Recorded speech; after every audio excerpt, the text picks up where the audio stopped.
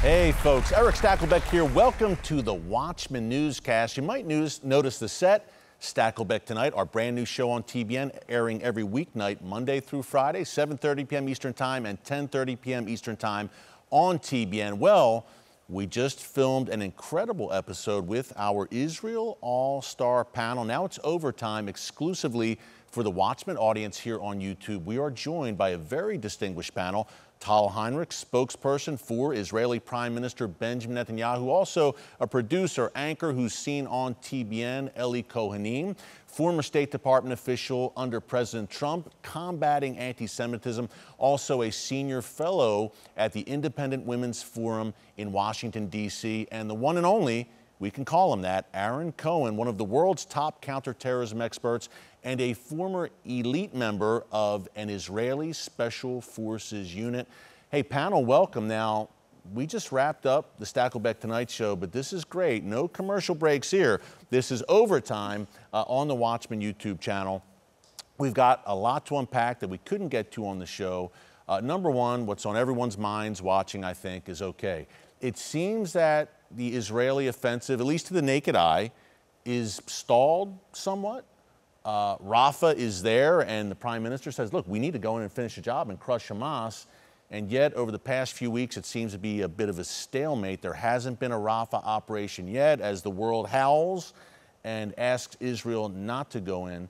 Tal, I want to start with you. Why must Israel go into Rafah, root out Hamas terrorists, and finish the job in this war? Because it's the last bastion. They still have four operational Hamas battalions there. It's about between 7,000 and 8,000 terrorists. We cannot leave them untouched. How can our citizens go back and leave in, in their southern communities? That's not possible. And I told you on, on the program, it's a decision that we took as a nation. We will no longer agree to life next to a terrorist enclave. We have done that for far too long, more than 16 years in which Hamas has been in power. We will not compromise our security. There will be no missiles again, no terrorism, no another October 7th massacre, as Hamas vows to do again and again. Now, just to uh, uh, explain what's happening on the ground right now, it's not that the, the, the military offensive is, is, stalled, because a lot is happening on the ground, and the IDF achievements on the ground are very, very impressive. Right now, they're more focused, yes, in the south and in the central part of the Gaza Strip, where we have another Hamas operational battalion in the area of the Shifa hospital, where we just just uh, we're just concluding a very impressive targeted surgical operation with commando uh, forces. Again, this is Again. not the first rodeo when it comes to Shifa Hospital. Exactly. November we, and now. We, we were there with many units, with thousands of soldiers. We, uh, we operated there. Many of the terrorists have fled, but now they returned to the area of the, of the hospital. One of the, the terrorists uh, that we arrested and admitted in the interrogation that there, there are about uh, between 600 and 1,000 terrorists inside that hospital. You know, hospitals are supposed to be uh, uh, protected grounds uh, under uh, the, the, international laws of, of, war. Obviously, Hamas has no regard to, to international uh, laws of war. They are hurting the most vulnerable. But Israel, our special forces went in there. They uh, eliminated all, nearly uh, 200 terrorists, arrested more than 900. Um, and, and, we know that they designated uh, the maternity ward, for example, the ER, uh, the MRI uh, uh, compounds uh, for terrorism purposes, for their management, for, you know, I have a colleague at the National Public Diplomacy Directorate. He, he says that usually in a normal hospital, a maternity ward is where babies get delivered.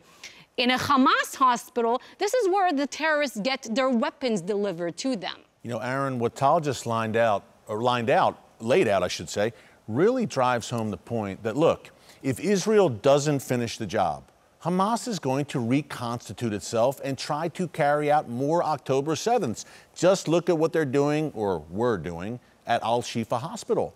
In November, the IDF carried out a very successful operation cleared out this Hamas command and control center underneath the hospital, and then Hamas just returned a few months later.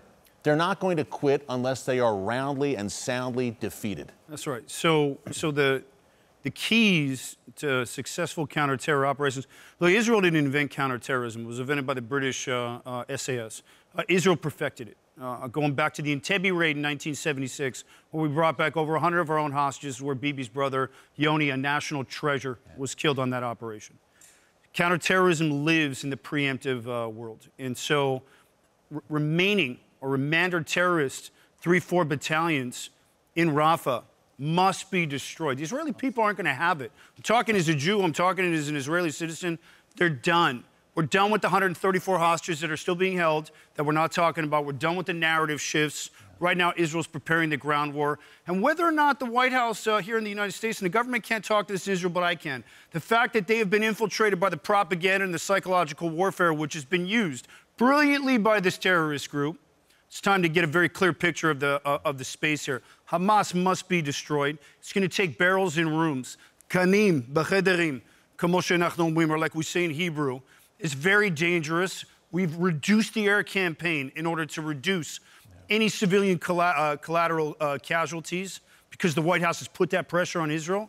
But now it's time for Givati, Golani, Nahal, the Palsarim, all of our elite infantry units who have been working brilliantly, uh, brilliantly to go in there and finish the campaign. It's dangerous, but Israel's going to wipe them out. It's just a question of time. They're laying down the groundwork right now. Yeah, Aaron, look, great points, number one. Ellie, number two, Israel, as Aaron just laid out, making tremendous progress in Gaza. And by the way, with in terms of civilian casualties, look, Israel goes to extraordinary lengths to avoid civilian casualties, unlike any army in modern warfare, I believe. So, why is the world howling and gnashing its teeth and targeting Israel? Israel was attacked, was invaded on October 7th. How all of a sudden in much of the world did Israel become the bad guy here? You know, Erick, I served as the deputy envoy to combat anti Semitism for the Trump administration. And I hate to say it, but when you see Israel, the Jewish state, being held to a double standard that no other country, never mind any other democracy, is held to. When you see, like you just said, military experts like John Spencer say that the civilian uh, casualty rate in this war is unbelievable. The lengths that Israeli army has gone to protect Palestinian civilians. The fact that they are operating out of a hospital, like Tal just told us, and the World Health Organization has nothing to say about this. Hamas's strategy is to have as many Palestinians Palestinians murdered as possible in order to put international pressure on Israel. And the fact that at the United Nations, it's Israel that they are coalescing against and condemning. All of this, Erick, I think shows us that it's anti Semitism. Israel has become the Jew among nations. Yeah. I want to ask you more about that UN resolution, Ellie. Profoundly disturbing.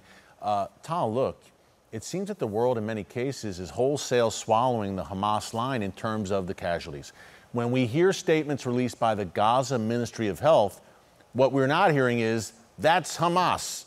They're the quote unquote governing body in Gaza. Could you talk about that disinformation campaign and what the Prime Minister's office, you're a spokesperson mm-hmm. for the Prime Minister, what you are doing to fight back against it and get the truth out there? Well, that's my job to set the record straight. There's so much disinformation spiraling around, you know, social media, especially TikTok that you mentioned. Um, I think it's sickening. But unfortunately, people are falling for the trap. People lacking moral clarity are sometimes falling for the trap. And I call it the pro Palestinian industry because that's what it is. Um, you see, if you put pressure on Israel, it's a lifeline for Hamas. That's the only leverage, the, the, the, the, one asset that they do have. This is what their entire strategy is based upon. And this is why they're using these sick methods of using civilians, eh, civilians as human shields, stealing humanitarian aid, because this is what they want. They openly say that they want to sacrifice the population of Gaza, Palestinian civilians, for their sick goal of obliterating the Jewish state. Now, every time uh, uh, uh, people out there put the pressure on Israel, they're playing right into Hamas's hands. They want Israel to take the fire for their own sick methods. And by doing so, they're also incentivizing their use of civilians of human shields. Uh, this is crazy that people don't get it, that they don't see it. Absolutely. And Ellie, I want to ask you more about the, the perception of daylight between Israel and the U.S. and why that's so dangerous in a minute and that resolution. Aaron, real quick, you and I were talking earlier about the TikTok generation. It's one thing in the United States, uh, but in, and they're the ones who are being educated, quote unquote, with this disinformation. But in Israel, and I was struck by this in my recent visit to Israel. We talk about the unity, the resilience of the people of Israel. That younger generation in Israel, Aaron, they are impressive. Generation Z in Israel is not Generation Z in America. Let's just say that. Talk more about that. So it's interesting. Uh, uh, my last trip to Israel, I met with some friends of mine who were in uh, uh command positions in the intelligence community and within uh, uh, Tzahal or the IDF.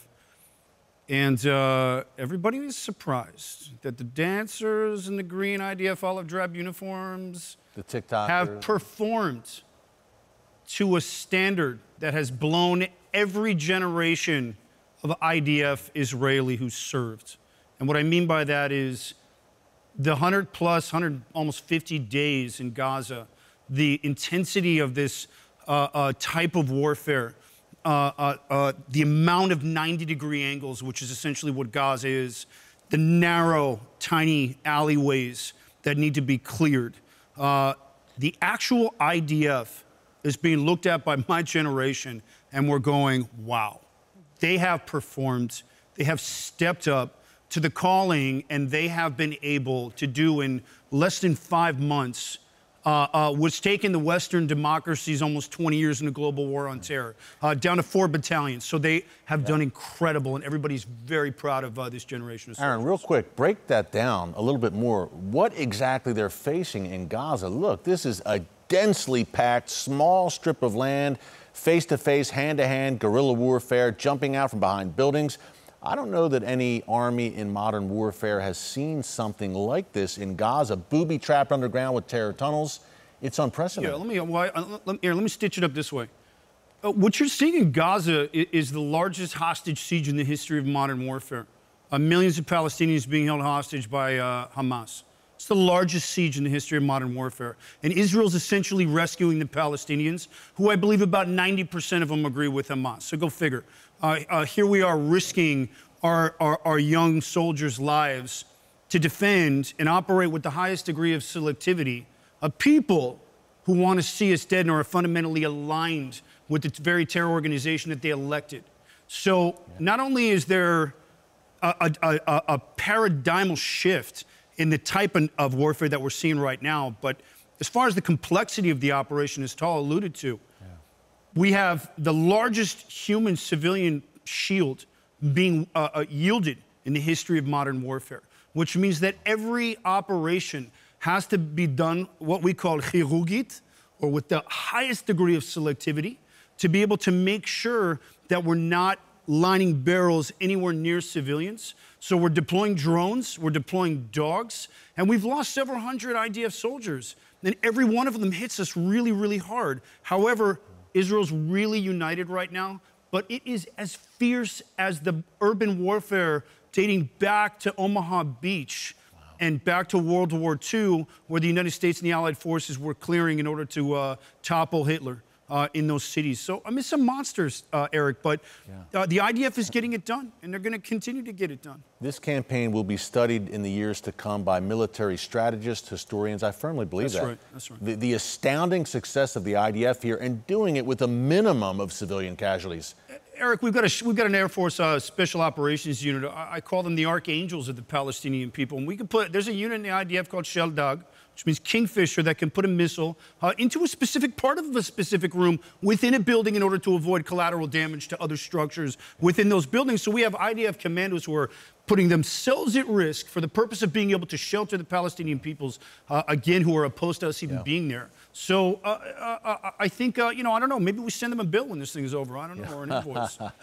and yet, despite everything that Aaron just laid out, that Tal just laid out, Ellie, we have the world calling for an immediate ceasefire, which would leave Hamas alive to fight another day. And as you mentioned earlier, the Biden administration earlier this week abstained, uh, did not block a UN resolution. They could have, but they let it go through a UN, UN resolution demanding an immediate ceasefire, essentially saying to Israel, back off, don't finish the job, let Hamas live to fight another day.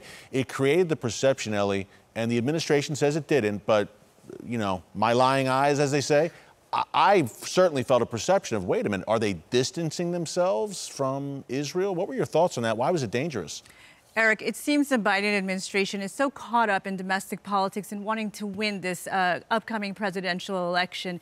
And the fact that there's a radical left wing part of the Democrat Party, specifically 1% of Arab voters in Michigan, that seem to be driving the Biden administration's decision to indeed not veto that UN resolution which decoupled the freeing of the hostages from any kind of a ceasefire and also failed to condemn Hamas. And Erick, I just want to say on your question, question of why this is dangerous.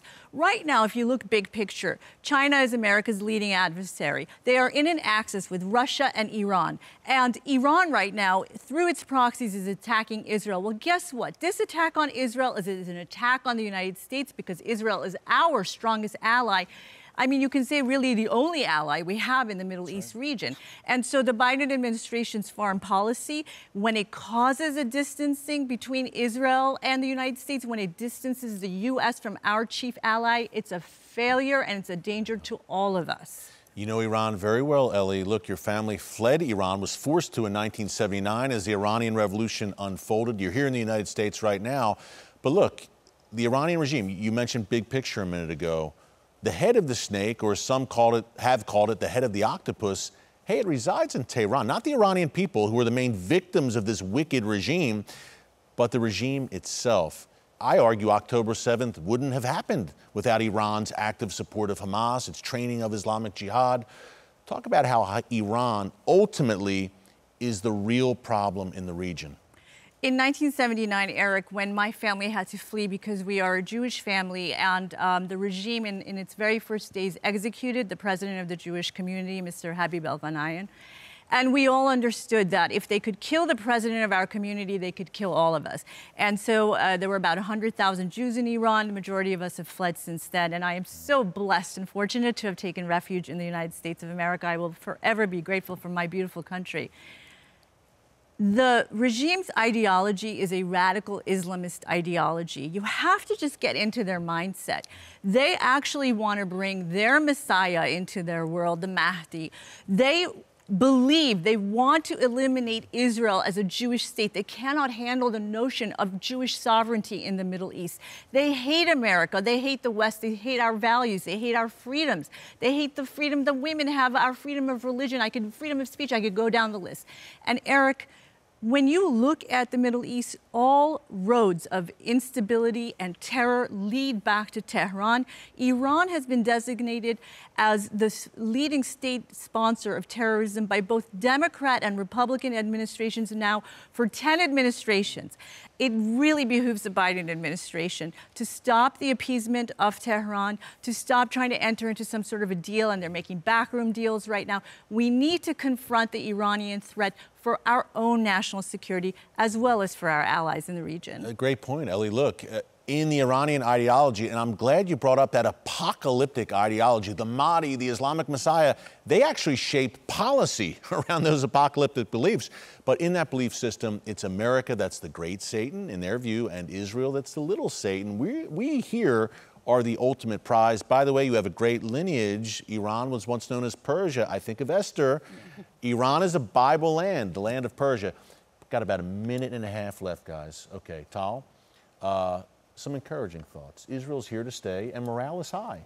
Yes, I'll just I just want to pick it up from where Ellie just left it. Not uh, an optimistic note, but it, it, think how dangerous Iran is right now with all the trouble and, and chaos it's uh, sowing around the Middle East, and how much more dangerous Iran could get if it ever acquires nuclear weapons. Israel will never, ever allow it to happen. Uh, you know, we are in, in, the prime minister called it Israel's second war of independence. We're going to win it because there's no other choice. We will be safe, we will be secure. Our victory will be the victory for the civilized world. Uh, this is time for moral clarity, and we need people of good good conscience on our side. It's an existential struggle. Ellie, last thoughts from you. Look, you're encouraged about the Christian community and the support Christians are showing for Israel in its time of need. I was just in Israel. We were honored to uh, have a meeting with Prime Minister Netanyahu. I was with a Christian faith leaders delegation coming to Israel in support of Israel. And I have to tell you, Erick, the Jewish people, we are so grateful for our Christian friends who are supporting us, the 82% of Americans in a Harvard Harris poll who are still supporting Israel, and know that Hamas needs to be eliminated, and one day we need to address that Iranian threat, I hope soon. Yeah, Aaron, now on Stakelbeck Tonight, which we just closed out before this, you had some words of wisdom in Farsi, a warning for Iran's Supreme Leader Ayatollah Khamenei. How will you leave us on this panel? If you enjoyed the show Fauda on Netflix, which is based on uh, my old unit, I'm going to give you one in Farsi, talking to Iran, which is Behet Dasrosi Dorim, which means we can get to every one of these terrorist leaders. A good way to close, and that's a very encouraging note to close on. Aaron Cohen, Tal Heinrich, Ellie Cohanim, folks. You can check them out across social media on X and elsewhere. Be sure to follow them. Panel, thank you so much. Number one, hey, we've got a live studio audience here. Number two, studio audience, thank you. You were great. Thanks for coming out. Quick reminder to subscribe to the Watchman News channel right here on YouTube. And secondly, Stakelbeck Tonight. You see the set here our brand new nightly show every Monday through Friday on TBN, 7.30 p.m. Eastern Time, 10.30 p.m. Eastern Time, twice per night with great content, great guests like you just saw on this Israel All-Star panel. Thanks so much for joining us. Until next time, God bless you. And remember, never hold your peace. Great job, guys.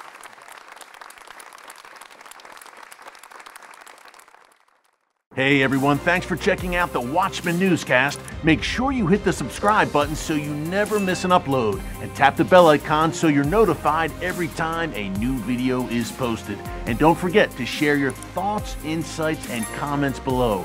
Thanks for watching. We'll see you back here tomorrow.